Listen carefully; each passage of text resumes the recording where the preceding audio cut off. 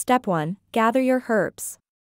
Choose high quality, organic herbs that align with your desired medicinal benefits. Some popular herbs for tinctures include echinacea, ginger, chamomile, and peppermint. You'll need fresh or dried herbs, a glass jar with a tight fitting lid, and a high proof alcohol like vodka or brandy.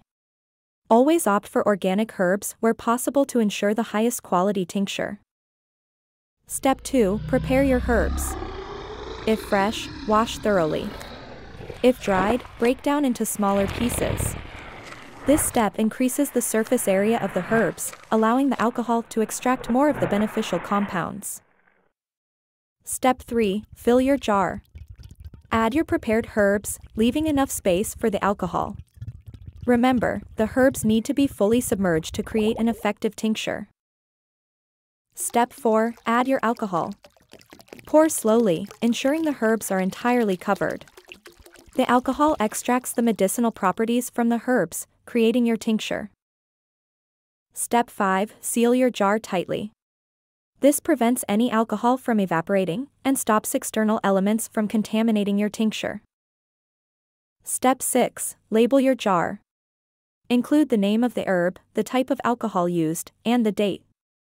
This is particularly useful if you're making multiple tinctures at once.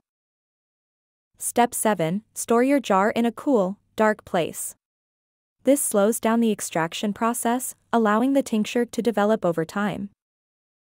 Step 8 Shake your tincture daily. This helps to mix the alcohol and herbs thoroughly, ensuring a potent tincture. Step 9 Wait for extraction. This process usually takes about 2 to 6 weeks. Patience is key here, the longer it sits, the stronger it gets. Step 10 Strain your tincture. Use a cheesecloth or fine mesh strainer to separate the liquid from the herb matter. Step 11 Bottle your tincture. Use a dark glass bottle with a dropper for easy application. Step 12 Label your bottle. Again, include the herb name, alcohol type, and the date. Step 13 Store your tincture. A cool, dark place is ideal. Properly stored, a tincture can last for several years.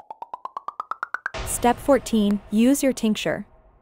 The recommended dosage is typically a few drops under the tongue or in a glass of water. However, always consult with a healthcare professional before using any new herbal product. Step 15 Experiment with combinations. As your tincture making skills advance, try using multiple herbs in one tincture for a more complex blend. Step 16 Grow your own herbs. For truly personalized tinctures, consider growing your own herbs.